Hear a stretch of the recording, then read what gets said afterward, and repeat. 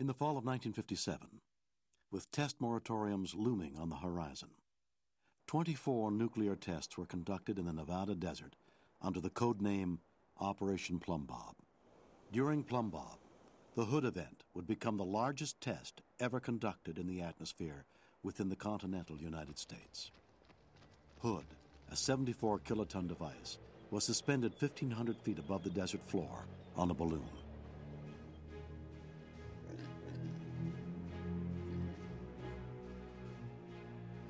While new weapon designs continue to be tested, the Department of Defense used the series to accelerate military training in nuclear warfare while continuing its study of the effects from nuclear explosions.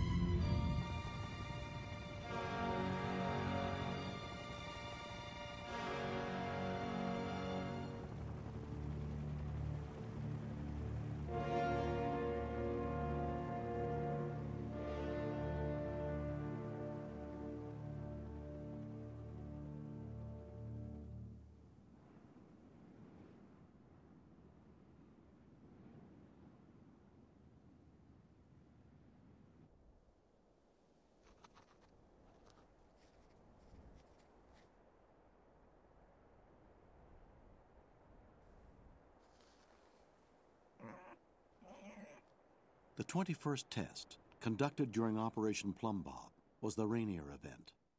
This was the first fully contained underground nuclear weapon detonation conducted by the United States.